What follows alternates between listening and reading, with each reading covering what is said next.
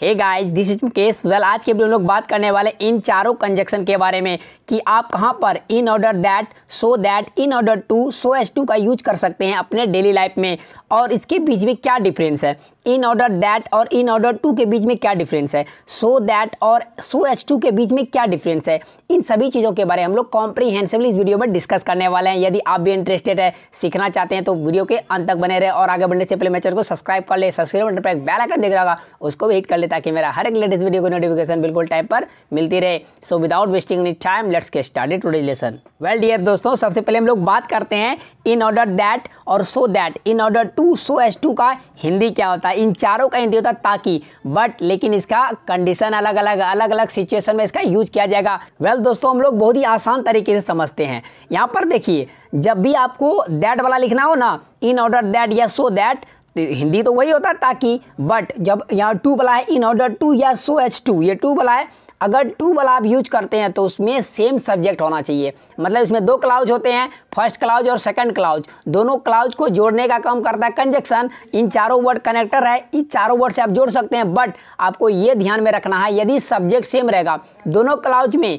Same subject रहेगा। तब उस सेंटेंस में हम लोग इन ऑर्डर टू लगाएँगे या सो एस टू वाला लगाएँगे। क्यों लगाएँगे भाई? तो यहाँ पर रूल है। जब सेम सब्जेक्ट रहता है तो हमको टू वाला लगाना होता है। या इन ऑर्डर टू लगाइए या सो एस टू लगाइए। जब आपको पहला सब, पहला जो क्लाउज है उसमें दूसरा सब्जेक्ट है और सेकंड वाला जो क्लाउज है उसमें दूसरा सब्जेक्ट है, तब इस स्थिति में आपको इन ऑर्डर दैट या सो दैट में से कोई एक राइट करना होगा। आई थिंक आप समझ चुके होंगे। जब दोनों क्लाउज में अलग अलग सब्जेक्ट हो तो होगा इन ऑर्डर दैट या सो दैट में कोई दोनों में से एक लगाइए। यदि सेम सब्जेक्ट हो, जैसे हमने कड़ी मेहनत की, क्या पाने के लिए हमें सफलता मिल सके?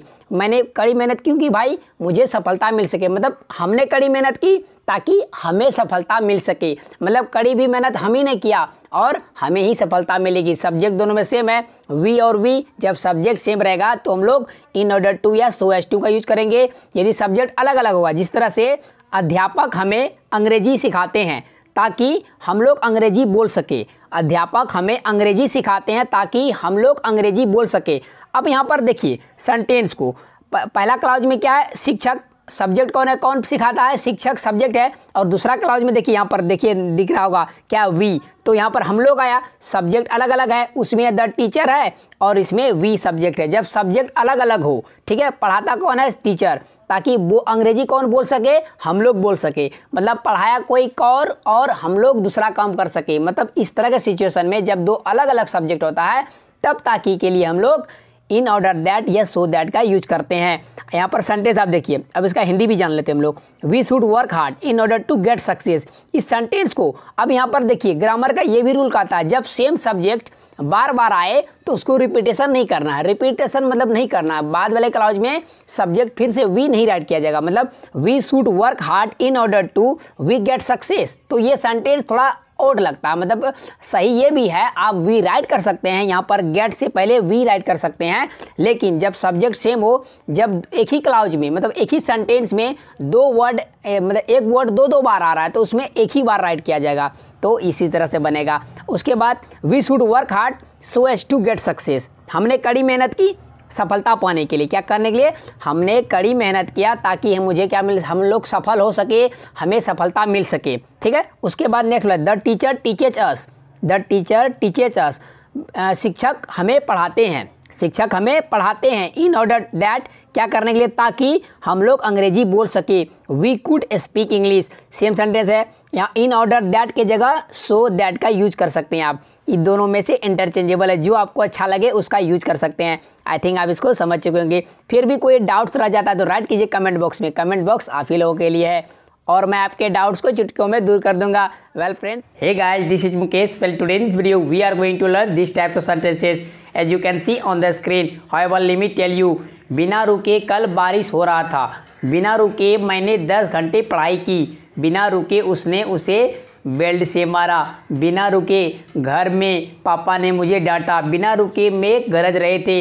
वेल well, दोस्तों how can you say this types of sentences in English so let's know about it सबसे पहले हम लोग बात करते हैं बिना रुके। इसको इंग्लिश में क्या बोलते हैं? बिना रुके का मतलब है कि लगातार। कॉन्टीन्यूसली अब यहाँ पर कॉन्टीन्यूसली का भी राइट कर सकते हैं और इनर रॉ को राइट कर सकते हैं। मेरे एक व्यूवर ने मुझसे पूछा था, सर इन और रॉ का मीनिंग क्या होता है? इसका यूज़ हम लोग स्पोकन में किस तरह से कर सकते हैं? तो इसका मीनिंग होता है कॉन्टीन्यूसली कोई काम बिना रुके जारी होना, बिना रुके वो चल रहा है मतलब कॉन्टीन्यूसली वो चल रहा है तो वहाँ पर हम लोग यूज़ करेंगे इनर रो का विदाउट ब्रेक ठीक है? बिना रुके। आइए हम लोग सभी को ट्रांसलेट करते हैं सेंटेंस जो भी टेंस का रहेगा उसी अकॉर्डिंग टू उसी के स्ट्रक्चर से इसको बना देंगे। पहला सेंटेंस लेते हैं। बिना रुके कल बारिश हो रहा था। ये पास्ट कॉन्टीन्यूस टेंस है। इसका स्ट्रक्चर होता है subject plus was were plus V four plus object क्योंकि ये अफर्मेटिव सेंटेंस है। तो सबसे पहले क्या राइट करेंगे?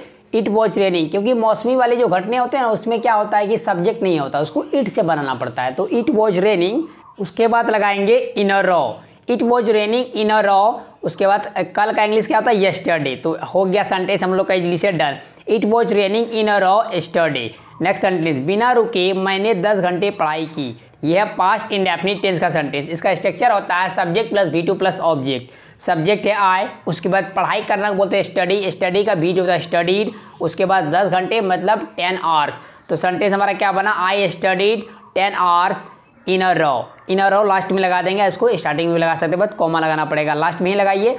I studied in a row ten hours या I studied ten hours in a row next sentence बिना रुके उसने उसे बेल्ट से पीटा। तो इसको किस तरह बोलेंगे? ये भी पास्ट इंडेफिनिट टेंस का सेंटेंस है। सेम स्ट्रक्चर लगाएँगे।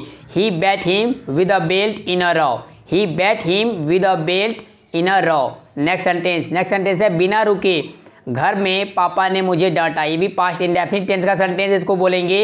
In a row papa scolded me at home in a row papa scolded me at home in a row को लास्ट में कर सकते हैं। Papa scolded me at home in a row next sentence बिना रुके मेज गरज रहे थे। ये भी पास्ट कॉन्टिन्यूस टेंस का सेंटेंस है। पहले वाला subject plus was were plus V four plus object के बनेगा। ठीक है? इट वॉज़ थंडरिंग मेघ गरजना को बोलते हैं थंडर ठीक है? आई एन जी लगा देंगे thundering it was thundering in a row it was thundering in a row well दोस्तों होप आपको ये समझ में आ चुका होगा। Hey guys, this is mukesh. Well, today in this video, we are going to learn these types of sentences. As you can see on the screen, however, let me tell you, इसीलिए तो मुझे चाहिए। इसीलिए तो वह चाहती है। इसीलिए तो हम पढ़ते हैं। इसीलिए तो वे लोग करते हैं। इसीलिए तो तुम नहीं जानते इसीलिए तो मैं नहीं चाहता। वेल well, दोस्तों इस तरह का सेंटेंस को आप इंग्लिश में किस तरह से बोलिएगा? कमाल का स्ट्रक्चर है। आइए हम लोग जानते हैं। सबसे पहले राइट करेंगे दैट्स वाई दैट्स वाई को राइट करने के बाद इसीलिए तो इसको इंग्लिश में बोलते हैं दैट्स वाई कोई रीजन हो। इसी कारण से तो या इसीलिए तो हम लोग इसको यूज़ करते हैं दैट्स वाई से। ठीक है? तो दैट्स वाई राइट करने के बाद राइट करेंगे सेंटेंस जो भी टेंस में होगा उसको राइट कर देंगे। आइए हम लोग यहाँ पर जनरली जो भी हमने यहाँ टेंस लिया है वो आपको प्रजेंट इंडेफिनेट टेंस से ही बनेगा। यहाँ पर लगेगा मुझे चाहिए। तो यहाँ देखिए कि ये सेंटेंस किसी और तरीके से बनेगा। ये हम लोग देखते हैं। सबसे पहले हम लोग पहला सेंटेंस लेते हैं। इसीलिए तो मुझे चाहिए। जब भी आपको ये बोलना हो, मुझे ये चाहिए, मुझे वो चाहिए, कुछ भी आपको चाहिए तो it means that I want you want मतलब वॉन्ट मतलब चाहिए। मतलब यहाँ सूट नहीं लगाएँगे कि आई सूड आई सूड नहीं, यहाँ पर कुछ चाहिए तो मॉडर्न में उसको वॉन्ट बोलते हैं। क्या बोलते हैं? वॉन्ट तो मुझे चाहिए आई वॉन्ट इसीलिए तो that's why I want that's why I want जैसे कोई कपड़ा आपको चाहिए। आई वॉन्ट दैट ड्रेस या I want this dress next sentence इसीलिए तो वह चाहती है. दैट्स वाई सी वॉन्ट्स यहाँ पर ऐसा लग जाएगा, क्योंकि प्रजेंट इंडेफिनिट टेंस में ही सी इट नाम सिंगुलर नाउन के साथ ऐसा लगता है वर्ब में. गोट इट आइए नेक्स्ट सेंटेंस को देखते हैं. इसीलिए तो हम लोग पढ़ते हैं. That's why we read that's why we study इसीलिए तो वे लोग करते हैं. That's why they do that's why they do next sentence इसीलिए तो तुम नहीं जानते. That's why you don't know that's why you don't know next sentence इसीलिए तो मैं नहीं चाहता. That's why I don't want well friends hey guys this is Mukesh well today this video we are going to learn this types of sentences as you can see on the screen high wall limit tell you यही तो वो आपको बताना चाहती थी. यही तो मैं सुनना चाहता था. यही तो मुझे चाहिए था. यही तो मेरे पापा को बहुत पसंद है. यही तो आपको करना होगा यही तो मुझे करना पड़ता था। वेल well, दोस्तों how can you say this types of sentences in English let's know about it सबसे पहले बात करते हैं हम लोग यही तो को इंग्लिश में क्या कहते हैं? उससे पहले मैंने इसे एक और वीडियो में बताया था वही तो। वही तो को इंग्लिश में बोलते हैं दैट्स वॉट दैट्स वॉट और यहाँ पर यही तो मतलब वहाँ वही लगा हुआ यहाँ पर यही लगा हुआ जिसको बोलेंगे this is what this is what वहाँ पर दैट्स वॉट मतलब दैट इज़ वॉट यहाँ पर दिस इज़ वॉट उसके बाद सेंटेंस को राइट कर देंगे वो जो भी टेंस में होगा। आइए हम लोग उस स्ट्रक्चर कंप्लीट हो गया। दिस इज़ वॉट उसके बाद सेंटेंस राइट करेंगे। सबसे पहला सेंटेंस है यही तो वो आपको बताना चाहती थी। दिस इज़ वॉट अब वो लड़की है she wanted to tell you यहाँ पर देखिए पास्ट इंडेफिनिट टेंस का सेंटेंस है। इसका स्ट्रक्चर होता है subject plus V two plus object she हो गया सब्जेक्ट और चान, चाना चाना बोलते हैं वांट वांट का बीट हो जाएगा वांटेड अब दो वर्ब के बीच में टू लगता है। Wanted to tell you object है टेल यू तो सेंटेंस हमारा इजी से डन हो गया। This is what she wanted to tell you ये भी है। पास्ट इंडेफिनिट टेंस का सेंटेंस यही तो मैं सुनना चाहता था। This is what I wanted to listen this is what I wanted to listen next sentence यही तो मुझे चाहिए था। ये भी पास्ट इंडेफिनिट टेंस का सेंटेंस है। आपको लगेगा कि सूट से बनेगा। नहीं, ये सूट से नहीं बनेगा। मुझे चाहिए तो आई वॉन्ट बोलते हैं हिंदी में, मुझे चाहिए था तो I wanted this is what I wanted this is what I wanted आपको कुछ भी चाहिए था तो आई वॉन्टेड लगा के उस सामान का नाम बोलना है। आपको चाहिए था you wanted to a cloth you wanted to new dress you wanted to an ice cream आपको एक आइसक्रीम चाहिए था। इस तरह से बनता है। नेक्स्ट सेंटेंस यही तो मेरे पापा को बहुत पसंद है। यह present indefinite tense simple present tense का सेंटेंस का स्ट्रक्चर होता है सब्जेक्ट प्लस वी वन या V five plus object he she it नाम सिंगुलर नाउन के साथ भी फाइव लगता है I we you they plural के साथ भी वन लगेगा। दिस इज़ वॉट यही तो वो बोलेंगे दिस इज़ वॉट मेरे पापा सब्जेक्ट है my father likes a lot my this is what my father likes a lot यहाँ पर अलॉट भी राइट कर सकते हैं, या आप एक काम और कर सकते हैं, जब बहुत ज़्यादा पसंद उसको लव बोलते हैं। This is what my father loves this is what my father loves या this is what my father likes a lot next sentence यही तो आपको करना होगा। This is what you will have to do this is what you will have to do it it भी लगा सकते हैं या नहीं भी लगा सकते हैं। नेक्स्ट सेंटेंस आज का आखिरी सेंटेंस है। यही तो मुझे करना पड़ता था। करना पड़ता था। इसका स्ट्रक्चर क्या होगा? Subject plus had to plus verb one plus object आइए सेंटेंस को ट्रांसलेट करते हैं। This is what I had to do this is what I had to do well, hey guys, this is Mukesh well, today in this video, we are going to learn these types of sentences as you can see on the screen, I already tell you, तुम कहाँ कहाँ घूमते हो? या कहाँ कहाँ तुम घूमते हो? कहाँ कहाँ वो चली जाती है? कहाँ कहाँ वे लोग क्रिकेट खेलते हैं? कहाँ कहाँ आप आजकल रहते हैं? और कहाँ राम उससे मिला और कहाँ तुम लोगों ने घुमा। वेल well, दोस्तों how can you say this types of sentences in English let's know about it सबसे पहले हम लोग बात करते हैं कहाँ कहाँ और और कहाँ? इसको इंग्लिश में क्या बोलते हैं? तो इसको इंग्लिश में बोलते हैं, इस तरह का सेंटेंस को बोलने के लिए क्या करते हैं हम लोग? ऑल लगा देते हैं। जैसे कि वेयर में ऑल लगा देंगे जो वेयर ऑल आप इसमें एक काम और कर सकते हैं, इसमें एल्स लगा सकते हैं तो बन जाएगा वेयर एल्स वेयर एल्स या वेयर ऑल इन दोनों में से किसी का भी यूज़ कर सकते हैं, ठीक है? बट इसमें क्या एक कंडीशन है? आपको जहाँ पर और कहाँ लगा रहेगा ना तो वहाँ पर वेयर एल्स ज़्यादा यूज़ किया जाता है। और कहाँ कहाँ जब दो बार राइट किया होता है तो वहाँ पर ऑल लगाया जाता है। जैसे वेयर ऑल कहाँ कहाँ और कहाँ? तो वेर एल्स तो इस तरह से हम लोग यूज़ करते हैं। जो भी टेंस में होगा उसको बना देंगे। आइए सेंटेंस लेते हैं, उसको ट्रांसलेट करने के लिए सीखते हैं। कहाँ कहाँ तुम घूमते हो? तो ये परजेंट इंडेफिनिट टेंस का सेंटेंस है। इसका स्ट्रक्चर होता है, सबसे पहले डब्ल्यू एच फैमिली उसके बाद डू डच उसके बाद सब्जेक्ट और सब्जेक्ट को राइट करने के बाद वर्ब का फ़र्स्ट फॉर्म उसके बाद ऑब्जेक्ट हो गया स्ट्रक्चर डन आइए, बनाते हैं। वेल well, सबसे पहले राइट करेंगे कहाँ कहाँ को इंग्लिश में क्या बोलते हैं? तो कहाँ कहाँ का इंग्लिश में बोलते हैं? वेयर ऑल तो वेयर ऑल राइट कर दिए डब्ल्यू एच फैमिली उसके बाद डू या डज लगाएँगे। सब्जेक्ट है यू यू के साथ लगता है डू तो डू लगा देंगे और तीन नंबर में यू राइट करेंगे। उसके बाद आएँगे वर्ब का फ़र्स्ट फॉर्म वर्ब है घूमना। घूमना को बोलते हैं वंडर यहाँ पर स्पेलिंग में डिफरेंस है। W A N D R wander मतलब तो घूमना और W O N D R wonder मतलब तो सोचना उत्सुक होना, किसी जिज्ञासा होना, किसी चीज़ के बारे में जानना या सोचना भी होता है। तो सेंटेंस हमारा यहीं डन हो गया क्योंकि ऑब्जेक्ट नहीं है सेंटेंस सेंटेंस हमारा क्या बना? Where all do you wander where all do you wander next sentence कहाँ कहाँ वो चली जाती है या चले जाती है, ठीक? तो सही है, इसको भी बनाएँगे परजेन इंडेफिनिट टेंस की मदद से। सबसे पहले राइट करेंगे वेयर ऑल वेयर ऑल को राइट करने के बाद डू लगाया डज लगाए, क्योंकि ही सी इट नाम सिंगुलर नाउन के साथ डज लगता है तो डज लगा देंगे। डज डज को राइट करने के बाद राइट करेंगे सी क्योंकि यह गर्ल्स है। उसके बाद चले जाना बोलते क्या? रन अवे मतलब भागना होता है। यहाँ पर अब गो सिंपल तरीके से लगा सकते हैं। इंग्लिश हिंदी में इस तरह का वाक होता है, लेकिन इंग्लिश में सेम सिंपल हम लोग सेंटेंस लगाते हैं।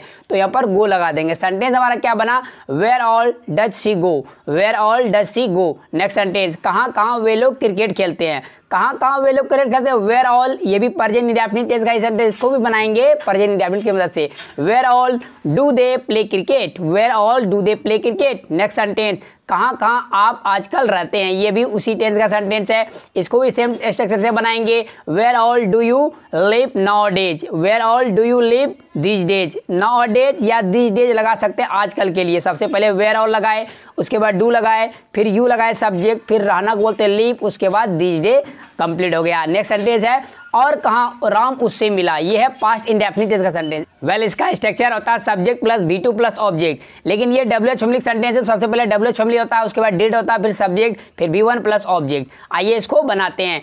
और कहाँ राम उससे मिला? सबसे पहले राइट करेंगे वेयर एल्स क्योंकि मैंने आप लोग को बताया, और कहाँ आएगा? तो एल्स वाला लगाएँगे। तो वेयर एल्स उसके सेकंड नंबर में डिड लगाएँगे, उसके बाद सब्जेक्ट है राम तो राम राइट कर देंगे। उसके बाद मिलने को बोलते हैं मीट और उससे उससे यहाँ अगर गर्ल्स है तो गर्ल्स ही लिखते हैं हर तो सेंटेंस हमारा इजी से डन हो गया। Where else did Ram meet her next sentence और कहाँ तुम लोग ने घुमा? और कहाँ तुम लोगों ने घुमा? या तुम लोगों ने और कहाँ घुमा? Where else did you wander same sentence है पास्ट इंडेफिनिट का सेम से बनेगा। वेल well, दोस्तों आप एक आज इज़ मुकेश वेल आज के वीडियो हम लोग जानने वाले इंडल्ज इन का यूज़ हम लोग किस तरह से कर सकते हैं अपने डेली लाइफ में। बिकॉज़ एक व्यूवर ने मुझसे पूछा था सर हम लोग इंडल्ज इन का यूज़ हम लोग किस तरह से कर सकते हैं? वेल well, आइए हम लोग जानते हैं कि इसका यूज़ किस तरह के सेंटेंस में किया जाता है। जैसे कि आपको यहाँ पर कुछ सेंटेंसेस दिख रहे होंगे। मैं आइसक्रीम में खो गया। मैं आइसक्रीम में खो गया। वह नाचने में मस्त हो गया है। हम लोग पढ़ने में खो गए। बच्चे खेलने में मग्न हो गए हैं। तुम लोग समोसे खाने में खो गए हो। इट मीन्स डैट कोई काम करने में आप खो गए। मतलब उसमें मग्न हो गए, उसमें मस्त हो गए। मतलब उसमें आप खो गए कि उस काम करने से कि आप समोसा खाने में खो जाते हैं, ठीक है? मतलब कोई काम करने में आप मग्न हो जाते हैं या खो जाते हैं, उस काम को इतने अच्छे तरीके से करते हैं, उसको काम करने में मस्त हो जाते हैं इंजॉय हो जाते थे। कोई काम करने में खो जाना या किसी चीज़ में खो जाना। तो ऐसे सिचुएशन में हम लोग यूज़ करते हैं एंडल्ज इन का। आइए किस तरह से करते हैं? सबसे पहले हम लोग बात करते हैं स्ट्रक्चर की। सबसे पहले सब्जेक्ट राइट करेंगे और उसके बाद हेल्पिंग वर्ब लगाएँगे। यदि सेंटेंस में, यदि अगर कोई टेंस होगा, उसमें हेल्पिंग वर्ब आ रहा है तो हेल्पिंग वर्ब लगाना है। यदि नहीं आएगा हेल्पिंग वर्ब तो हेल्पिंग वर्ब ज़रूरी नहीं है लगाना। उसके बाद राइट करेंगे इंडल्ज इन अब ये इंडल्ज हमेशा चेंज होगा। बी वन लगेगा तो बी वन लगाएँगे बी टू लगेगा बी फाइव लगेगा, जो भी वर्ब का फॉर्म लगेगा अकॉर्डिंग टू टेंस उसको लगा देंगे। इंडल्ज इन को राइट करने के बाद ऑब्जेक्ट राइट कर देंगे। आइए सेंटेंस को ट्रांसलेट करने के लिए सीखते हैं। मैं आइसक्रीम में खो गया। इट मीन्स दैट मुझे आइसक्रीम इतना ज़्यादा पसंद है कि मैं आइसक्रीम में क्या हो गया? खो गया। इस सबसे पहले रख दें सब्जेक्ट, यह पास्ट इंडेफिनिट टेंस का सेंटेंस अफर्मेटिव का है, इसका स्ट्रक्चर होता है subject plus V two plus object subject है आई उसके बाद लगाएँगे वर्ब का सेकेंड फॉर्म इंडल्ज का बी टू हो जाएगा इंडल्ज डी लगा देंगे इंडल्ज इन उसके बाद ऑब्जेक्ट क्या? आइसक्रीम तो आइसक्रीम कर देंगे। सेंटेंस हमारा इजली से डन हो चुका है। I indulge in ice cream next sentence वह नाचने में मस्त हो गया है। ये है प्रेजेंट परफेक्ट टेंस का सेंटेंस इसका स्ट्रक्चर होता है subject plus has plus V three plus object तो वह है क्या? लड़का है तो ही हैज़ ही के साथ हैज़ लगता है? He has indulge in dancing he has indulged in dancing he has को शॉर्ट में हीज बोलते हैं। नेक्स्ट सेंटेंस को देखते हैं। नेक्स्ट सेंटेंस है हम लोग पढ़ने में खो गए। वी इंडल्ज इन स्टडिंग या we indulge in reading next sentence बच्चे खेलने में मग्न हो गए। मतलब कोई काम करने में मग्न हो जाना, खो जाना, उसमें डूब जाना, उसके लिए हम लोग इंडल्ज का यूज़ करते हैं। तो ये भी प्रेजेंट परफेक्ट टेंस का सेंटेंस है। बनेगा the children have indulge in playing the children have indulge in playing next sentence आज का आखिरी सेंटेंस है, तुम लोग समोसे खाने में खो गए. ये भी पास्ट इंडेफिनिट टेंस का सेंटेंस है। You indulge in having rissoles या एटिंग रिसोल्स या taking rissoles rissoles mean samosa होता है। वेल well, दोस्तों आपको वीडियो कैसी लगी? यदि अच्छी लगी तो एक लाइक कर दे साथ ही साथ मेरे चैनल को सब्सक्राइब कर दे सब्सक्राइब पर बेल आइकन दिख रहा है उसको विज़िट कर ले ताकि मेरा हर एक लेटेस्ट वीडियो की नोटिफिकेशन बिल्कुल टाइम पर मिलती रहे। Thanks for watching video friends Hey guys, this is Mukesh. Well, today in this video, we are going to learn these types of sentences as you can see on the screen. However, let me tell you, चोरी छुपके मैं उससे मिलने गया। चोरी चुपके उसने पैसे चुरा लिया। चोरी चुपके वह मेरे पास आई। चोरी चुपके तुम्हारे दोस्त ने शादी कर लिया। चोरी चुप के मुझे उसे घूस देना पड़ा। वेल well, दोस्तों how can you say this types of sentences in English so let's know about it सबसे पहले हम लोग बात करते हैं चोरी चुप के या अंदर ही अंदर। इसका मतलब क्या हुआ? कोई काम अंदर ही अंदर कर लेना। मतलब वो छिप के करना चोरी छुप के करना। उसको इंग्लिश में बोलते हैं बाय द बैक डोर या आप इसको थ्रो द बैक डोर कर सकते हैं। बाय या थ्रो में से कोई एक लगाना है। बाय द बैक डोर या थ्रो द बैक डोर। और सेंटेंस जिस भी टेंस में होगा, उसको उससे ट्रांसलेट कर देंगे। आइए हम लोग इसको सीखते हैं कैसे इसको ट्रांसलेट किया जाए। चोरी चुपके मैं उससे मिलने गया। इसको किस तरह से बनाएँगे? ये पास्ट इंडेफिनिट टेंस का सेंटेंस इसका स्ट्रक्चर होता है subject plus V two plus object. I went to meet her by the back door हम तो लड़का है, किसी लड़की से ही मिलने जाएँगे तो हर लगाएँगे, ठीक है? हिम भी लगा सकते हैं, कोई गर्ल्स है तो वो अगर लड़के से मिलने जा रहे हैं तो इस सेंटेंस को हम लोग थ्रो से बना सकते हैं। I went to meet her through the back door next sentence चोरी चुपके उसने पैसे चुरा लिया। ये भी उसी टेंस का सेंटेंस है पास इंडेफिनिट टेंस का। चोरी चुपके उसने पैसे चुरा लिया। तो ये लड़का है। He stole the money by the back door he stole the money by the back door steal का बीट होता है स्टोल ठीक है? He stole the money by the back door next sentence चोरी चुपके वो मेरे पास आई। चोरी चुपके वो मेरे पास आई। She came to me by the back door या she came to me through the back door ठीक है? वो लड़की है। नेक्स्ट सेंटेंस को देखते हैं। नेक्स्ट सेंटेंस है, चोरी चुपके तुम्हारे दोस्त ने शादी कर लिया। तो इसको किस तरह से बोलेंगे? Your friend married by the back door या your friend married through the back door अब यहाँ पर गेट मैरी भी कर सकते हैं। बीट हो जाएगा गोट मैरिड यहाँ पर मैरिड राइट किए मैरी का बीट होता है married next sentence next sentence है, चोरी चुप के मुझे उससे घूस देना पड़ा। पढ़ा पढ़ी पढ़े जब भी आए तो वो हैड टू प्लस वर्ब का फ़र्स्ट फॉर्म से बनता है। सबसे पहले क्या राइट करेंगे? सब्जेक्ट सब्जेक्ट है। I I had to pay off by the back door I have to pay off by the back door या through the back door well दोस्तों, यहाँ पर देखिए, घूस देना को बोलते हैं बैक डोर रिश्वत रिश्वत का होता है ब्राइब रिश्वत लेना को बोलते हैं टेक ब्राइब जब घूस देते हैं तो उसको पे ऑफ़ कहते हैं, ठीक है? अब यहाँ पर देखिए हैड टू के बाद वर्ब का फ़र्स्ट फॉर्म इसलिए यहाँ पर pay off O double F off है, ठीक है? वेल दोस्तों, आपको ये वीडियो कैसी लगी? यदि अच्छी लगी तो एक लाइक कर दीजिए, साथ ही साथ मेरे चैनल को सब्सक्राइब कर ले सब्सक्राइब बटन पर एक बेल आइकन देख रहा है, उसको वेट कर ले, ताकि मेरा हर एक लेटेस्ट वीडियो नोटिफिकेशन बिल्कुल टाइम पर मिलती रहे, और आप डेली कमाल के इंग्लिश एडवांस स्ट्रक्चर सीख सके। Thanks for watching